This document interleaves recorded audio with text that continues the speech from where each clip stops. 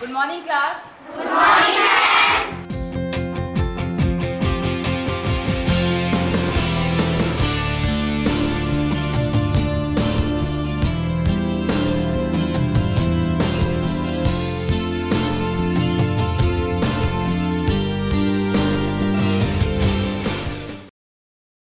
सबसे पहले आप अपने बारे में बताइए।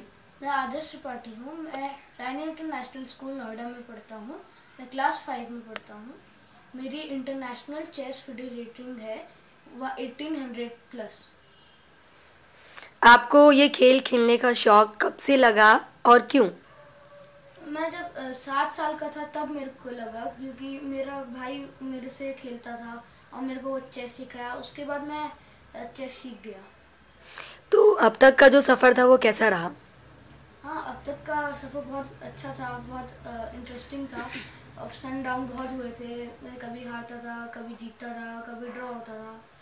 तो अब तो मालूम चलता कि अब ये सब तो होता ही रहेगा। तो बहुत इंटरेस्टिंग था। तो आपके भाई के साथ आपकी शुरुआत हुई। हाँ। तो अभी भी खेलते हैं आपके भाई आपके साथ? अब अब कम खेलते क्योंकि अब वो बहुत साल पहले मेरे को मेरे से अच्छा खेलता था। फिर उसको प्रोफेशनल ट्रेनिंग नहीं मिली मेरे को मिली। तो फिर चार साल हो गए मेरे को प्रोफेशनल ट्रेनिंग मिल रही है। तो फिर मैं धीरे धीरे स्ट्रेंथ मेरा इम्प्रूव हो गया। चेस खेलना एक कठिन काम है तो इसके लिए आपको मेंटली फिट रहना पड़ता है। तो इस फिटनेस के लिए आप क्या करते हैं? ये फिटनेस चेस में तो बहुत बहुत ही इम्पोर्टेंट होता है क्योंकि फिटनेस के बिना आप बैठे रहोगे तो फिर बहुत कैसे चलेगा? तो इसलिए मैं फिटनेस के लिए रेगुलरली योगा करता हूँ एक्सरसाइज करता हूँ। और वॉक में भी जाता हूँ। चेस खेलने के लिए आपका कोई आ, कोचिंग भी है? हाँ चेस खेलने के लिए अ, मैं कोचिंग लेता हूँ। और कोच की इसमें कितनी बड़ी भूमिका होती है? कोच की बहुत ज़्यादा इम्पोर्टेंट होती है जो एक प्रोफेशनल चेस प्लेयर हो उसके लिए बहुत इम्पोर्टेंट होता है। क्योंकि वही एक कोच बता सकता है कि आपकी गलती कहाँ कहाँ कहाँ हुई है। और जो प्रोफेशनल चेस प्लेयर नहीं है वो उन वो ऐसे ही खेल खेल के भी जान सकते हैं कि चेस में क्या होता है। तो आपने अभी तक कोचिंग कहाँ कहाँ से ली है? मैंने दिल्ली में भी बहुत ली है और बाहर जाके भी बहुत कोचिंग ली है जैसे उड़ीसा और बहुत जगह ऐसे। आदर्श अब आप एक इंटरनेशनल प्लेयर बन गए हैं। तो इसके लिए आपको कई सारे अवार्ड्स भी मिले होंगे। तो वो एक्सपीरियंस कैसा रहा? एक्सपीरियंस बहुत बढ़िया रहा था क्योंकि मैं स्टेट से खेल रहा था स्टेट खेल रहा फिर नेशनल खेला, फिर इंटरनेशनल टूर्नामेंट्स खेला। तो उसमें मैं, वैसे तो प्राइस तो मेरे आ ही जाता था, अपनी कैटेगरी में आता था, या कभी कभार मेन में लग जाता था। तो ऐसे ही ऐसे ही बढ़ते गया बढ़ते गया। इंटरनेशनल आपको देश के कई नेशनल लेवल के खिलाड़ियों के साथ खेलने का मौका मिला होगा तो वो एक्सपीरियंस कैसा रहा? वो एक्सपीरियंस अच्छा रहा क्योंकि मेरे सामने कोई एक अच्छा प्लेयर है। तो उससे खेलने में मैं मेरे को भी कुछ सीखने को मिल रहा है। और फिर उसमें खेलने में मज़ा भी आता है कोई टक्कर का हमारे सामने बैठा हुआ है। अब आप इंटरनेशनल प्लेयर बन गए हैं तो यहाँ तक पहुँचने के लिए कितनी मुश्किलों का सामना करना पड़ा? इसमें मुश्किल तो था और दिक्कत क्या थी कि इसमें टाइम बहुत लगता था और फिटनेस मेरी बहुत बेकार थी और है भी अभी भी।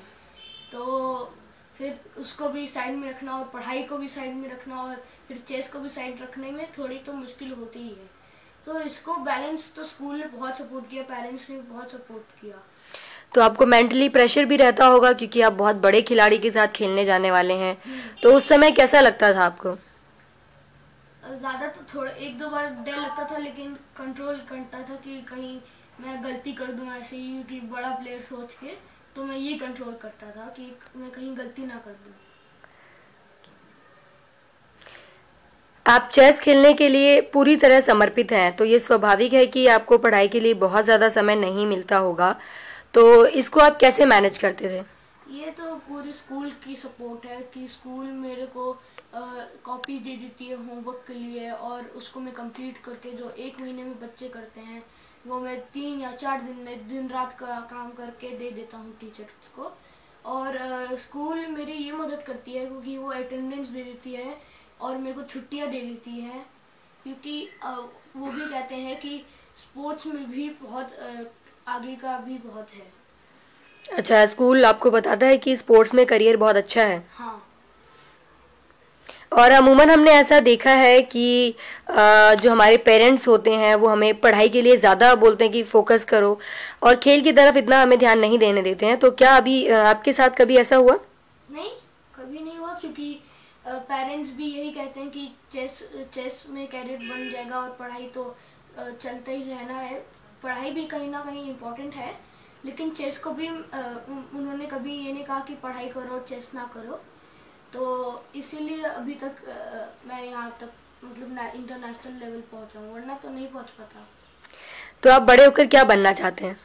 मैं बड़े होके वर्ल्ड चैंपियन बनना चाहता हूँ। आपके पसंदीदा प्लेयर कौन है? मेरे दो फेवरेट प्लेयर हैं एक है विश्वनाथन आनंद और दूसरा मैग्नस कार्लसन क्यों? मैग्नस कार्लसन इतने यंग एज में वर्ल्ड चैंपियन बन गया है विश्वनाथन आनंद को हरा के। और वो, उसका अटैकिंग स्टाइल कितना ज़्यादा स्ट्रांग है। इसलिए मैं उसको सब हमेशा मेरा फेवरेट प्लेयर है। और विश्वनाथन आनंद मेरा फेवरेट प्लेयर इसलिए है क्योंकि वो एक तो इंडिया का है, वो number India India number one है और उसने बहुत, इंडिया को बहुत ज़्यादा ही, उसने इंडिया के लिए बहुत ज़्यादा ही सपोर्ट किया। इंडिया के लिए पूरी अपनी मैच खेला, इंडिया को जिताने के लिए। और अभी उसका प्लेइंग स्टाइल उसका डिफेंस इतना स्ट्रांग है और इसीलिए वो पाँच बार और एक साथ पाँच बार वर्ल्ड चैंपियन रहा है और काफ़ी देर तक वर्ल्ड नंबर रहा है। तो आपने उनसे भी बहुत कुछ सीखा है खेलने के लिए? हाँ।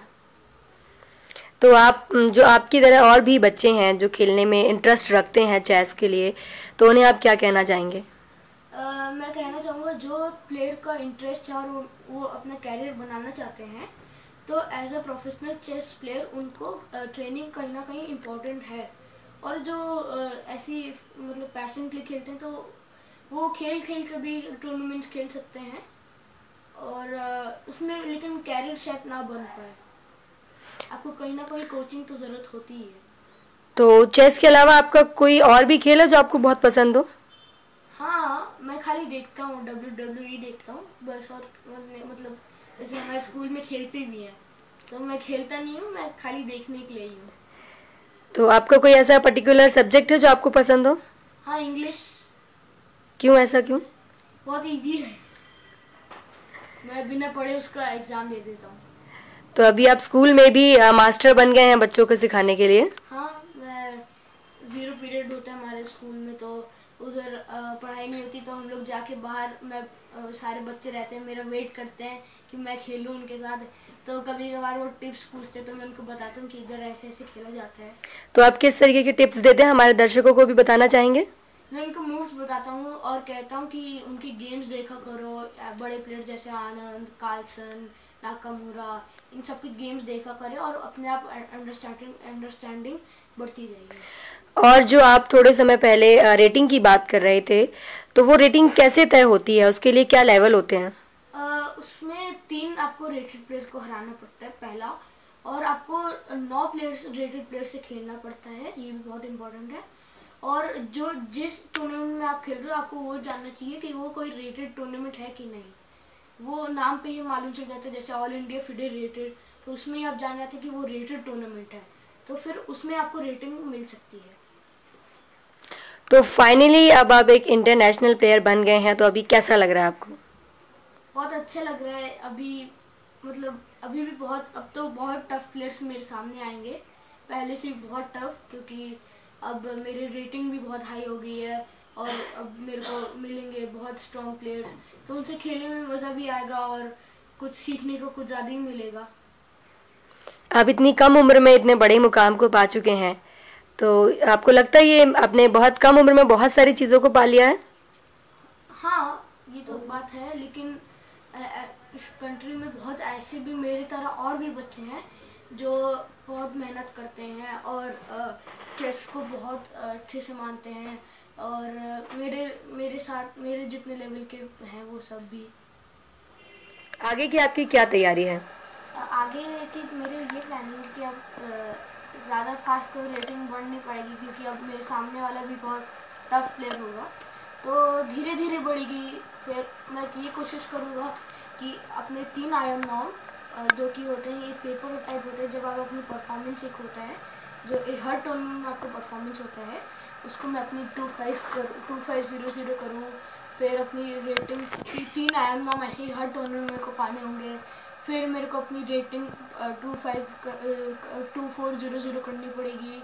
फिर जाके मैं एक आई एम बनूँ तो अभी एटीन हंड्रेड से टू फोर ज़ीरो ज़ीरो पहुँचने तक इतना मेहनत करना पड़ेगा। उसके बाद जब मैं टू फोर ज़ीरो ज़ीरो पहुँचूँगा, तब मेरे को ग्रैंड मास्टर टाइटल जो कि तीन तीन जी एम नॉम्स और और two five zero zero ratings की ज़रूरत होती है उसमें, उसको मेरे को करना होगा। और उस समय सबसे टफेस्ट मेरा एक्सपीरियंस होगा क्योंकि उस समय मेरे को बहुत स्ट्रॉन्ग स्ट्रॉन्ग प्लेयर्स मिलेंगे जिससे मैं जिनको मेरे को हरा हरा के ये ग्रैंड मास्टर बनना होगा। तो अभी आप ग्रैंड मास्टर बनना चाहते हैं? हाँ। तो अभी हमारे इंडिया में कितने ग्रैंड मास्टर हैं? हमारे इंडिया में अभी फोर्टी टू ग्रैंड मास्टर्स हैं और eighty nine plus international masters हैं। जो बच्चे चेस खेलना चाहते हैं वो कहाँ से शुरुआत कर सकते हैं? वो कैसे, कहाँ रजिस्ट्रेशन करवाएँ? क्या करें कि वो शुरुआत कर सकें इस खेल के लिए? हाँ वो जो प्लेयर प्रोफेशनल चेस प्लेयर बनना चाहता है, उसको अपने स्टेट में अपना नाम रजिस्टर करना चाहिए और वो फॉर्म आपको स्टेट में मिल सकता है, अपने स्टेट एसोसिएशन के पास जाके मिल सकता है और जिस जिस स्टेट में आप रहते हैं जिस स्टेट से आप खेलना चाहते हैं, उस स्टेट की वेबसाइट में अब जाके अपना फॉर्म भी भर सकते हैं क्योंकि अब वो आजकल वो ऑनलाइन अवेलेबल है। आज प्रधानमंत्री की मन की बात कार्यक्रम में विश्वनाथ आनंद भी आए हुए थे तो उन्होंने कहा कि चेस भी एक पढ़ाई की तरह है। तो आपको क्या लगता है? हाँ चेस बिल्कुल पढ़ाई की तरह है क्योंकि उसमें ही हमको हर मूव में ये देखना पड़ता है कि अगर ये खेलेंगे तो क्या होगा ये खेलेंगे तो क्या होगा और हमको ये भी जानना पड़ता है कि हमको हमको कोचिंग की भी ज़रूरत होती है पूरी टीचर की पूरी गाइडेंस की ज़रूरत होती है और ऊपर हमको इसमें माइंड भी बहुत बढ़ता है कि इसमें ये भी सिखाता है चेस हमको कि अगर हम हार भी गए तो कुछ नहीं हुआ हम नेक्स्ट गेम जीतने के लिए खेलेंगे। बाल गुरु प्लस के बारे में आप क्या कहना चाहेंगे? बाल गुरु प्लस बहुत इंस्पायरिंग न्यूज़पेपर है क्योंकि वो बच्चों के इंस्पायरिंग स्टोरीज बता के बच्चों को इंस्पायर करता है। और मैं मैं बालगुरु प्लस रोज मतलब रोज उसको मैं न्यूज़पेपर पढ़ता हूँ बालगुरु। Morning class good morning